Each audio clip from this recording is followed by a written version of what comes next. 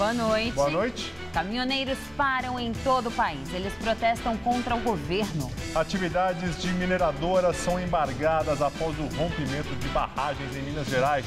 Ainda há 24 desaparecidos. Estudo mostra que metade das mulheres assassinadas no país são vítimas da própria família. Feirão de emprego em São Paulo tenta colocar imigrantes no mercado de trabalho.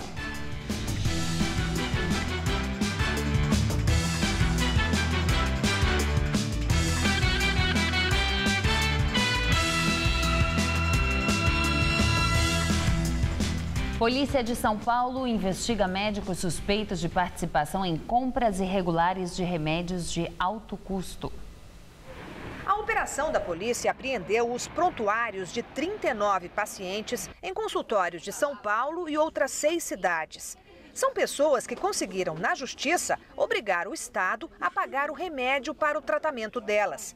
A substância lomitapida é indicada para um tipo raríssimo de colesterol alto. O remédio fabricado por um laboratório norte-americano não tem registro na Anvisa e é muito caro. Cada comprimido custa o equivalente a 4 mil reais. Um frasco que dura um mês de tratamento sai por mais de 100 mil reais. Em menos de dois anos, o governo de São Paulo gastou 40 milhões de reais. E agora a polícia descobriu que os pacientes tomaram o remédio sem precisar. Foram enganados pelos médicos. 18 estão sendo investigados, suspeitos de receber dinheiro para atender aos interesses do laboratório que teria usado os pacientes brasileiros como cobaias. Pessoas com etnia diferente, uh, o clima diferente, alimentação diferente. A maioria dos pacientes não sabiam que eles estavam assinando documentos para obter o medicamento via judicial e tampouco sabiam que o medicamento não servia para tratar a modalidade de colesterol que eles tinham. Alguns deles estão absolutamente revoltados, perderam a total confiança no médico, né? E se sentem lesados na medida em que foram usados, né, para participar de uma experiência a qual eles não foram convidados. A polícia já pediu a quebra do sigilo bancário dos médicos suspeitos. E o governo de São Paulo vai entrar na justiça contra o laboratório para receber o dinheiro de volta. Vamos para cima de qualquer maneira. Isso é um ralo de dinheiro, foi um monte de dinheiro jogado fora. Enfim, há toda uma, uma, uma aparência de bom direito nisso daí que, na verdade, não existia. Continua a operação de buscas por desaparecidos após o rompimento das barragens em Mariana, Minas Gerais. Três mortes foram confirmadas. 24 pessoas ainda não foram localizadas. Mais de 500 estão desabrigadas. Rejeitos do rompimento das barragens devem chegar ao Espírito Santo de madrugada. Mais de 200 pessoas estão envolvidas nos trabalhos de resgate e rescaldo do acidente que aconteceu no distrito de Bento Rodrigues na última quinta-feira. O Ministério Público, que abriu inquérito para investigar as causas e as responsabilidades do rompimento, recomendou que a mineradora Samarco, responsável pelas estruturas, remunere as famílias atingidas até a indenização ser definida. A Secretaria de Meio Ambiente de Minas Gerais informou que desde sexta-feira todas as atividades da Samarco na região de Bento Rodrigues estão embargadas e que as atividades só poderão voltar após os danos provocados serem reparados. Uma nova previsão do Serviço Geológico do Brasil apontou que a partir da madrugada, grande quantidade de lama está prevista para chegar ao Espírito Santo as cidades que margeiam o Rio Doce, que teve a foz aberta para ajudar na passagem da lama, já se preparam para as enxurradas. Protesto de caminhoneiros bloqueia rodovias em todo o país. Foram registradas intervenções em pelo menos 12 estados. Os manifestantes pedem a saída da presidente Dilma. Em São Paulo, as pistas expressa e central da Marginal Tietê foram ocupadas pelos caminhões. E o trânsito no sentido da rodovia Ayrton Senna ficou parado com mais de 10 quilômetros de congestionamento. A rodovia Raposo Tavares também foi bloqueada na altura dos municípios de Salto Grande e Presidente Venceslau, no oeste do estado. A manifestação começou por volta das 10 da manhã e seguiu até o começo da tarde. Os atos foram convocados pelo Comando Nacional do Transporte, que reúne caminhoneiros autônomos não ligados a nenhum sindicato. Os manifestantes reclamam da alta de impostos e do preço do combustível. Diversas rodovias em todo o país foram bloqueadas. No Paraná, o ato começou de madrugada. Cerca de 200 caminhoneiros fecharam a BR-277, permitindo apenas a passagem de veículos de emergência.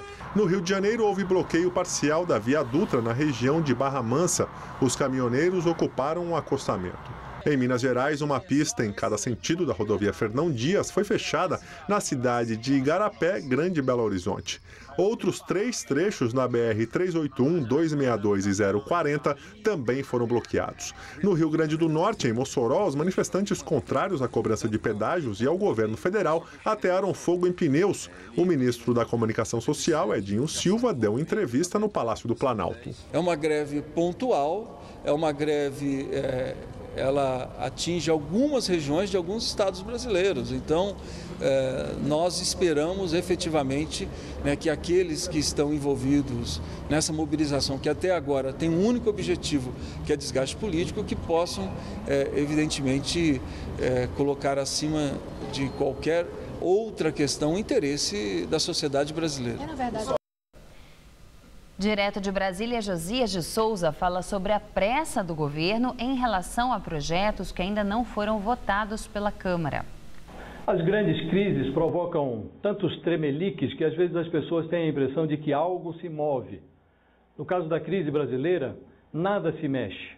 Hoje, como costuma acontecer todo início de semana, Dilma Rousseff se reuniu com a sua coordenação política. Como já se tornou um hábito, a presidente discutiu com ministros e líderes do governo no Congresso a necessidade de apressar a votação dos projetos que compõem o chamado ajuste fiscal do governo. Você ouve esse mesmo lero-lero há quase 11 meses e nada acontece. O governo gira em torno de si mesmo como um parafuso espanado. O ano de 2015 vai se aproximando do final e o governo trava agora uma corrida contra o relógio para ver o que consegue salvar na Câmara e no Senado. Dilma já sabe que não terá tudo o que gostaria de ter.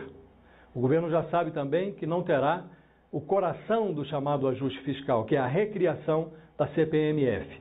A chance de deputados e senadores recriarem a CPMF neste ano é nula, pode esquecer. Depois que Lula disse publicamente que, se fosse presidente, não recriaria a CPMF, aí mesmo é que os parlamentares não vão aprovar essa proposta de Dilma Rousseff. O resultado de toda essa encrenca é que as crises política e econômica vão sendo empurradas para dentro de 2016 no seu estado bruto, sem o encaminhamento de algo que se pareça com uma resolução. Com isso, a febre vai se tornando doença crônica e a discussão sobre a permanência ou saída de Dilma do poder, ela vai se tornando inócua. Logo, logo, o Brasil não vai precisar de um presidente da República. O país vai precisar de um médico legista. Boa noite. Começou hoje a fiscalização da CET no novo corredor de ônibus criado na Avenida 9 de Julho. Ele ocupa todo o viaduto Doutor Plínio de Queiroz, que passa sobre a Praça 14 Bis, na Bela Vista, centro de São Paulo. Desde a segunda-feira passada, carros particulares não podem mais circular no local, somente ônibus e táxis. A multa é de quase 200 reais. A fiscalização já começou e a partir de hoje apenas táxis e ônibus podem circular nos dois sentidos do viaduto. Mas a nossa equipe de reportagem não precisou de muito tempo para flagrar vários carros comuns subindo o viaduto, inclusive moto. Já no túnel 9 de julho, somente táxis com passageiros podem circular na nova extensão do corredor de ônibus. E isso fora dos horários de pico, entre as 6 e 9 horas da manhã e das 4 às 8 horas da noite. O motorista que desrespeitar as novas medidas recebe multa gravíssima de quase 192 reais, com perda de 7 pontos na carteira de habilitação. E a novidade divide opiniões. Tem muito trânsito, fica tudo muito acumulado ali embaixo. Fica realmente muito ruim. Pelo trânsito ficou ruim, mas pela flexibilidade de ônibus ficou melhor. Das 8 da noite às 6 da manhã e também aos sábados, domingos e feriados, os táxis podem circular por todo o corredor, com ou sem passageiros, segundo a CET. Mas para os carros particulares, a proibição é permanente. A Receita Federal vai abrir amanhã a consulta ao sexto lote de restituição do Imposto de Renda 2015. O contribuinte também poderá consultar lotes residuais de anos anteriores. Serão restituídos mais de 2 bilhões e 300 milhões de reais a mais de 2 milhões de contribuintes. As consultas podem ser feitas no site da Receita, pelo telefone 146 ou via aplicativo. As restituições serão pagas na próxima segunda-feira, dia 16. Os imigrantes que chegam a São Paulo sonham com uma vida melhor e oportunidade de emprego. Hoje, um feirão aqui na capital ofereceu vagas de trabalho a essas pessoas. Dek é do Nepal. O país fica na encosta da cordilheira do Himalaia, na Ásia. Lá, ele sempre trabalhou como agente de turismo, mas desde que chegou a São Paulo, há um ano e quatro meses, não consegue emprego e em nenhuma área. É muito difícil. Procurando, procurando, procurando. Não. Não acha? Não. não. Todos aqui buscam a mesma coisa: trabalho. E quase todos esbarram na mesma dificuldade, a língua. O Michel é do Haiti. Fez o mesmo caminho de milhares que chegam a São Paulo com esperança de vida melhor. Está há quatro meses na capital buscando uma colocação. Se conseguir, pensa até em trazer a família. Eu tenho três filhos Haiti, minha mamãe Haiti, minha esposa Haiti, tudo família Haiti. Eu, eu venho aqui para trabalhar. O segundo Feirão do Emprego, realizado em São Paulo, é uma parceria das Secretarias de Justiça e do Emprego. 50 vagas foram oferecidas para funções como auxiliar de serviços gerais, empregado doméstico, porteiro. As únicas exigências foram o CPF e a carteira de trabalho. É, o objetivo é integrar eles na comunidade e buscar parceiros, empresários do comércio, da indústria, da construção civil, da área hoteleira.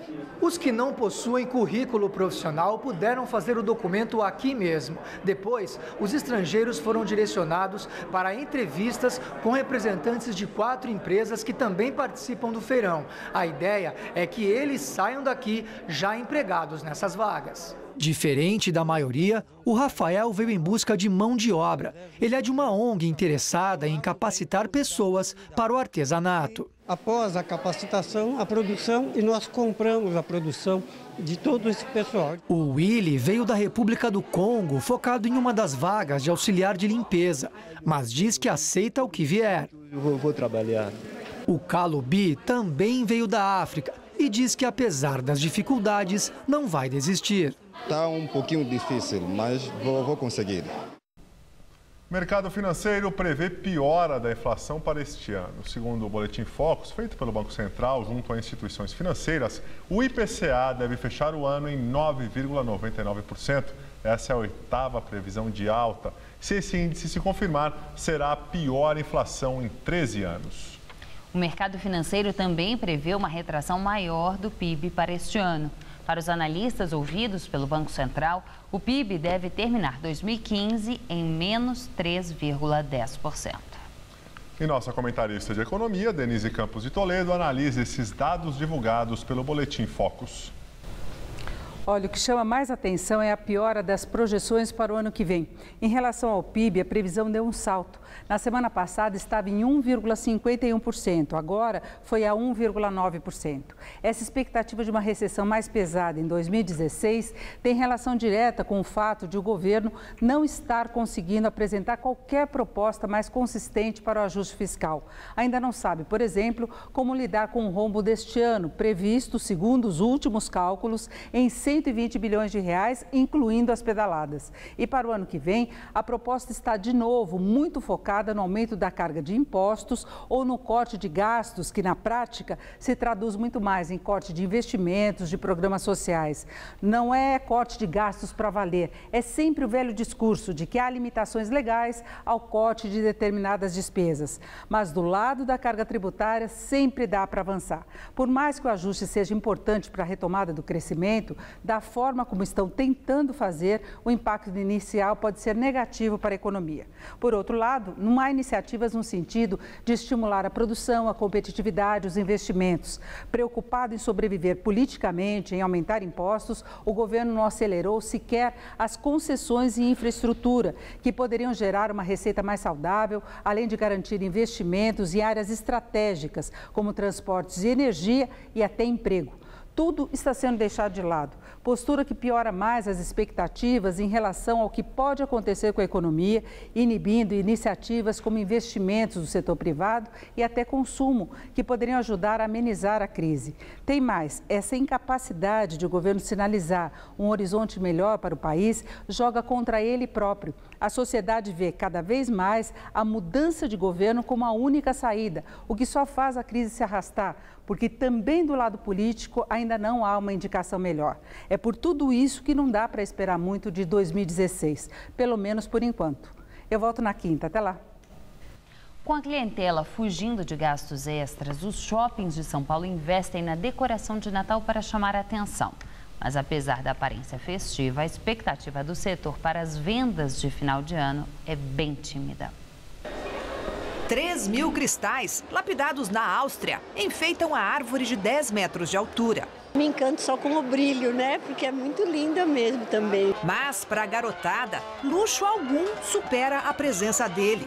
Neste shopping, o Papai Noel desfilou ao lado de malabaristas e ao som de uma banda. Ele tá presente para todas as crianças do mundo, de um ano em um ano, senão fica muito cansativo. Imagina todos os dias. Coitado dele. Nunca vou esquecer ele. Não? Porque ele é legal. Pra quem não se comporta ali, não dá. Luciano veio com o filho Lucas, de 4 anos, só para ver o espetáculo. Em fim de ano, mais do que as compras, são as luzes do Natal que movem a família. Uns 10 por aí, viu? Sempre a gente vai. Você acaba analisando, olha, o ano passado estava assim, esse ano tá, tá diferente, teve algumas coisas diferentes. É na primeira quinzena de novembro que os shoppings lançam a decoração de Natal. É também quando sai a primeira parcela do 13º salário em várias empresas. Árvore colorida, trenzinho, bicho que mexe. Chamariz para unir o agradável ao útil. Atraindo eles para o shopping, a gente, assim, provavelmente já vai comprar alguma coisa, né? Porque já vai vir com eles. Então vai comprar, não tem como não comprar, entendeu? Esta rede, que tem shoppings em São Paulo, em Minas Gerais e no Rio de Janeiro, não diminuiu um centavo no orçamento previsto para a decoração e para os brindes que vão ser sorteados. Por causa da crise, renegociou contratos, cortou outras despesas, mas para o Natal não houve cortes. Este shopping, inclusive, está gastando mais que no ano passado. Estamos explorando um novo espaço, então com ainda mais decoração, mais elementos, mais atrativos, também dirigidos ao público infantil. Mas em ano de economia difícil, de preços em alta, pode ser que o encanto não cause exatamente o efeito desejado. Menos compra do que o passeio, mais o passeio mesmo, né? Ho, ho, ho! Feliz Natal para todos! Greve da companhia aérea alemã Lufthansa cancela mais voos para o Brasil. A paralisação, que começou na última sexta-feira, deve continuar ao longo desta semana.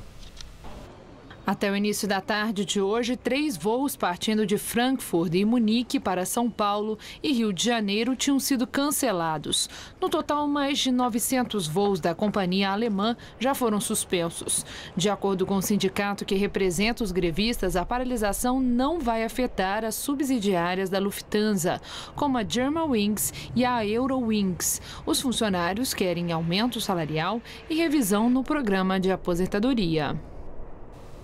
Um dos símbolos da Moca, o tradicional estádio do Juventus, na rua Javari, completa 90 anos. Esse moleque travesso. Diz aí, há quem more na Moca e não torça para o Juventus? Ah, eu acho que é difícil, hein? É difícil. O juventino que não é moquense até pode ter, mas moquense que não seja juventino é, é quase impossível. O cara pode ser corintiano, São Paulino, mas ele torce para o Juventus. É, essa é a cara da Moca, meu. O seu Elias vive no bairro desde que nasceu, há 87 anos, e trabalhou por 63 como massagista do clube. Era garoto, eu não saía daqui. Vivia pulando muro, coisa, e acabei gostando, ficando. Histórias assim se concentram aqui, no estádio Conde Rodolfo Crespi, que completa 90 anos. Tem esse nome em homenagem ao empresário que doou o terreno para o clube em 1925. Mas é mais conhecido como o Estádio da Javari, que é o nome da rua.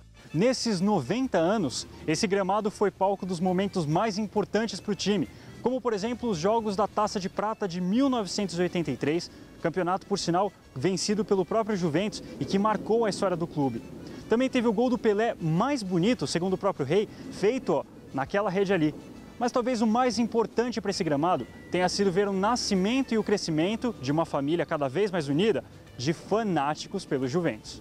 E bota fanático nisso. O Glauco, por exemplo, coleciona camisas do time e lembra da história de cada uma delas. Uma camisa mais antiga que eu tenho da coleção essa camiseta do Juventus, de 1972. Até as fotos do álbum de casamento dele foram tiradas no estádio. Na verdade, ele bateu o martelo falando que as fotos deveriam ser feitas lá no, no Juventus, na Javari. E aí não teve escolha, né? Eu tive que casar, mas fazendo as fotos lá. Vamos torcer juntos, Juventus, e daqui nunca mais A seguir, estudo mostra que metade das mulheres assassinadas no Brasil são vítimas da própria família. E tiroteio perto do metrô de Nova York. Na confusão, um homem morreu e outras duas pessoas ficaram feridas com gravidade. Qual Casper você é? A minha Casper é informação. A minha Casper é organização. A minha Casper é criação. A minha Casper é luz, câmera, ação. A minha Casper é comunicação. É teoria, é prática, é oportunidade de estágio. É a melhor localização. Essa é a minha Casper. E você, qual Casper você é? Para bom entendedor, meia palavra basta. Não. Por isso, questionamos políticos e autoridades públicas, trazemos informação e esclarecimento sobre os temas importantes do seu dia a dia. TV Gazeta. Bom te ver sempre bem. O Todo Seu dessa segunda recebe um famoso ator que também é neto do maior comunicador da TV brasileira. Já sabe quem é, né? Lógico, ele é um amor. Mas tem que conferir, tem que vir pra cá. Tem Mestres da Gastronomia com Tássia Magalhães. E tem um bate-papo com a jornalista e escritora Adriana Carranca, que eu acho o máximo. Pode vir que eu tô te esperando. Até segunda. Todo seu, nesta segunda, 10 e meia da noite.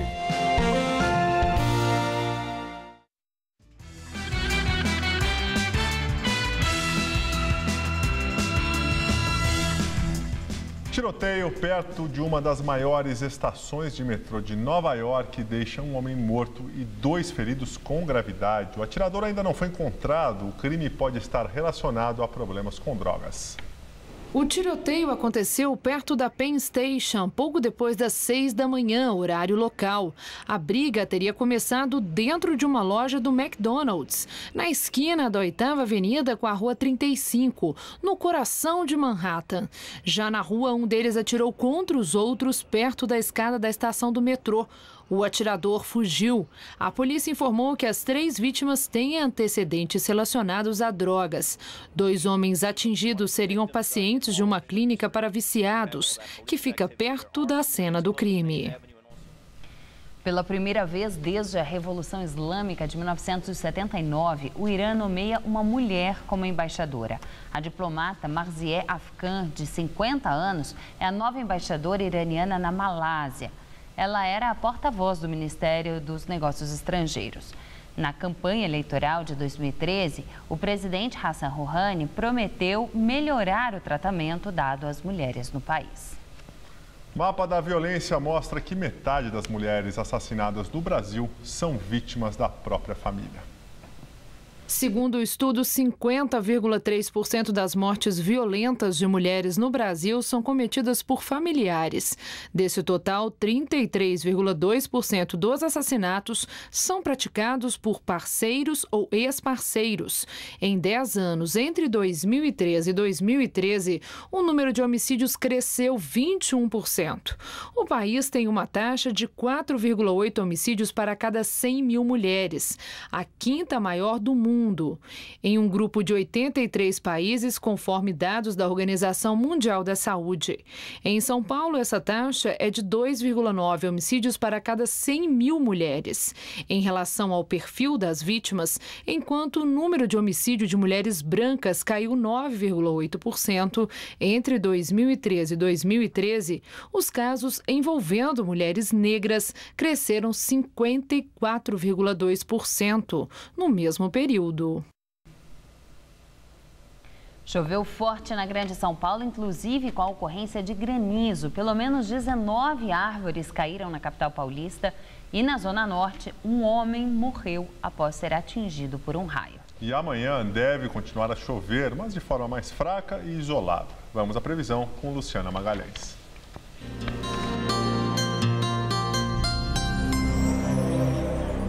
O tempo continua instável e a terça-feira será um dia típico de verão em praticamente todo o estado. Isso porque a temperatura sobe, faz sol forte pela manhã e ocorrem pancadas de chuva isoladas à tarde. O tempo só deve ficar firme e seco no norte do estado. No centro-oeste, a máxima amanhã fica em 35 graus em Presidente Prudente. Já na região mais central de São Paulo, a máxima será de 34 em São Carlos e também em Bauru. E a faixa leste, incluindo o litoral, é a única área que terá o céu mais carregado desde o período da manhã. Máxima de 33 graus em São José dos Campos. Aqui na capital, os próximos três dias serão parecidos. O sol aparece, as nuvens aumentam e são esperadas pancadas de chuva à tarde e também à noite. As temperaturas sobem e as máximas ficam em 30 graus amanhã, 31 na quarta e 28 na quinta-feira. A edição das 10 do Jornal da Gazeta termina aqui. Boa noite. Fica agora com o Rony Von no Tudo Seu. Uma ótima semana para você. A gente se vê amanhã. Até lá.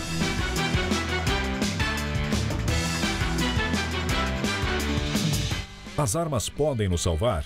Cidade Ocupada discute este tema. Hoje, 11h30 da noite. Assista agora. Todo seu.